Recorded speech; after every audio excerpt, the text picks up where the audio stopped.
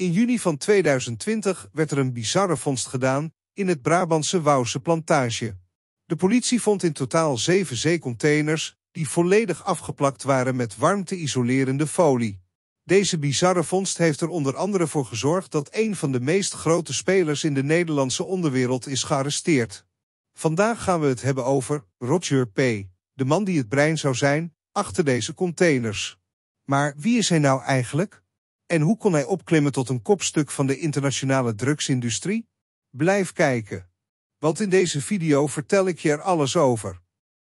De meeste mensen zullen Roger kennen onder de naam Piet Costa. Deze bijnaam heeft hij gekregen omdat hij jarenlang in Costa Rica zou hebben gewoond. Hij werd ook wel eens de Kale genoemd.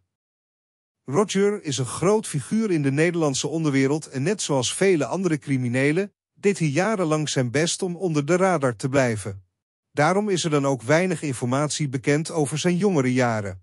Wat we wel weten, is dat hij in 1971 is geboren in Rotterdam, waar hij tevens is opgegroeid. Op dit moment is hij 52 jaar oud.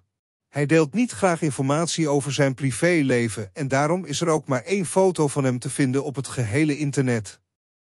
Ook weten we dat hij in zijn jeugd twee keer is veroordeeld voor onder andere een overval bij een bank en hierdoor heeft hij een strafblad gekregen.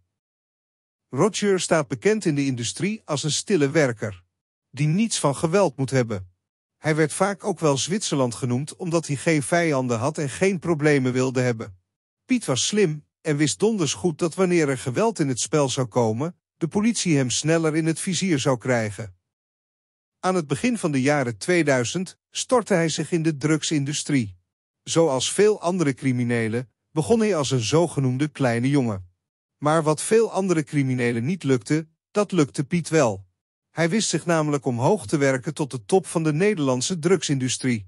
Twintig jaar later is hij namelijk de leider van een criminele organisatie, heeft hij een groot internationaal netwerk opgebouwd, heeft hij vele connecties in Latijns-Amerika en wist hij duizenden kilo's drugs te smokkelen via de havens van Antwerpen en Rotterdam. In het wereldje van cocaïnesmokkelaars genoot hij de laatste jaren een bijna mythisch imago. Piet is erg slim en leefde een luxe leven als een soort koning. Maar hoe is hem dat eigenlijk gelukt? Van 2006 tot 2009 zat Piet in de gevangenis en in deze gevangenis heeft Piet een aantal mannen leren kennen die bij de organisatie hoorden van Samir Boujakregan. Bij de meeste mensen bekend als Samir Scarface, die in 2014 is geliquideerd in Spanje. Samir werd in die periode gezien als de koning van de Nederlandse onderwereld. En was een grote en invloedrijke drugshandelaar in West-Europa. Als je benieuwd bent naar zijn verhaal, bekijk dan mijn andere video's. Na zijn vrijlating kwam Piet uiteindelijk in contact met Samir en ging met hem samenwerken. In het begin stortte hij zich voornamelijk op de logistiek. Sinds 2009 reisde hij dan ook opvallend vaak naar Latijns-Amerika. Voornamelijk naar Costa Rica, Panama en Colombia. Piet was zo gedreven in zijn werk dat hij zich langzaam omhoog wist te werken naar de top. Nadat Samir in 2014 werd geliquideerd, was het tijd voor Piet om te gaan schijnen. Maar niet voor het grote publiek, want hij wilde onder de radar blijven. Acht jaren lang lukte hem dit heel goed. Hij verhuisde in 2015 naar Costa Rica en startte een ananasplantage. Een doordacht plan. Want vaak wordt ananas gebruikt om drugs mee te smokkelen. Hij greep zijn kans dan ook om in de jaren daarna tonnen met drugs te smokkelen via dozen met ananas van Costa Rica naar Europa. Er is gebleken uit het vonnis dat Piet een dagtaak had aan het aansturen van zijn organisatie, het werven van mede-investeerders in de drugshandel en het zoeken naar corrupte contacten bij bedrijven en overheidsinstellingen. Maar zijn werk begon zijn vruchten af te werpen en op een gegeven moment was Piet Costa stinkend rijk.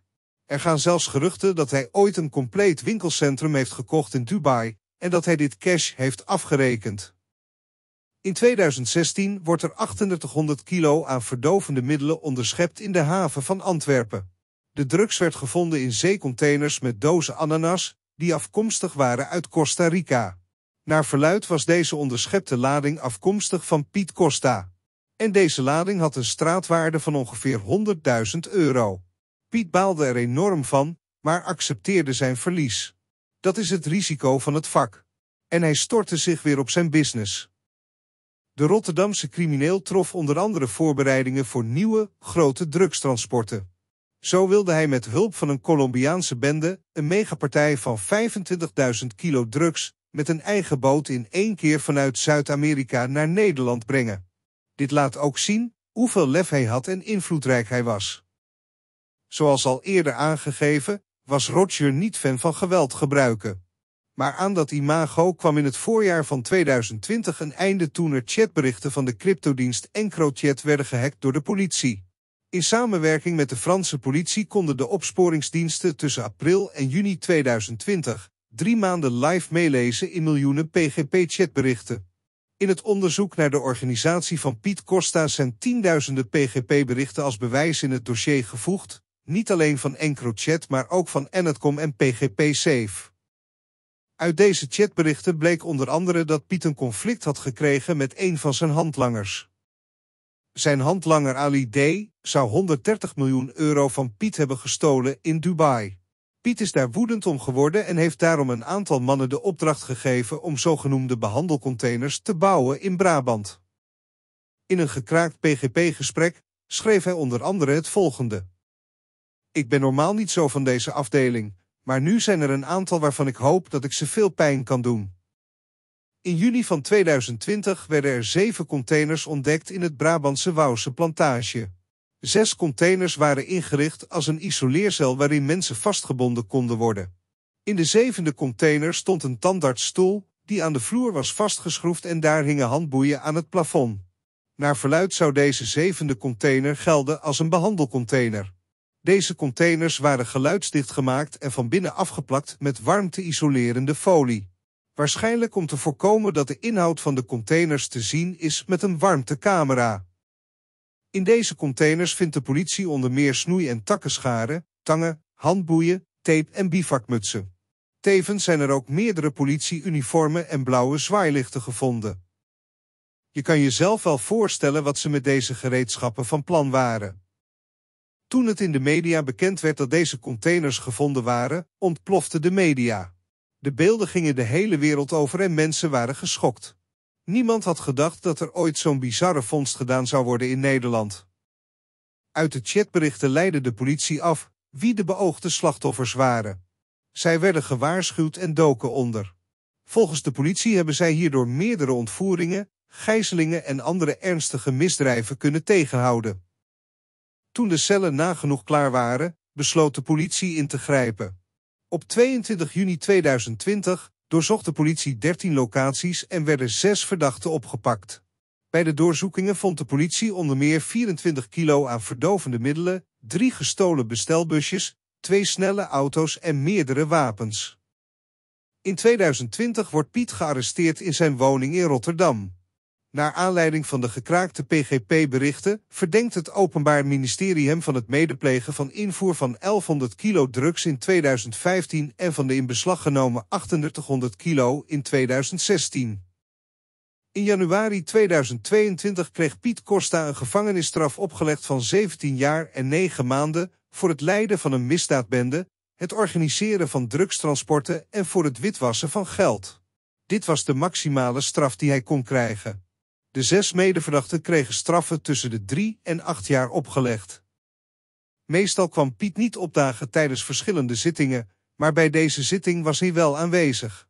Tijdens de uitspraak van zijn straf zweeg hij. Hij heeft geen woord gezegd en verschuilde zich in een capuchon en een mondkapje om te laten merken dat hij niet gefotografeerd wilde worden.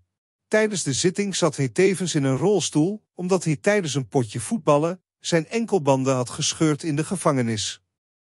Over het algemeen wordt Piet Costa beschreven als een man die grof geld verdiende met verboden activiteiten, maar zonder kwaad in de zin te hebben.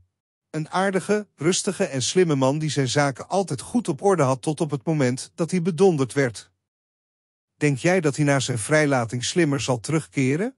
Laat het weten in de comments. Bedankt voor het kijken. Abonneer op mijn kanaal en klik op het belletje zodat je geen enkele video hoeft te missen.